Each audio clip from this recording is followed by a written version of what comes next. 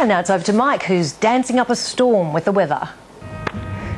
Yeah, thank you, Jennifer, and a very good evening. What a glorious day it's been today, and what a great night it is tonight. 26 degrees this afternoon in Melbourne town. Right now, 24 with lots of free entertainment. Wow. Uh, throughout the city, uh, every Friday, Saturday, and Sunday here at Fitzroy Gardens. Now, this is the Swing Patrol, the jitterbug dancing from the 40s, the 50s, the 60s, and yes, sir, I might dance with you at home if you can.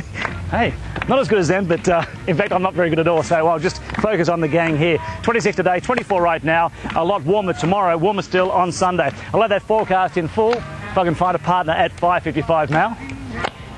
You're right.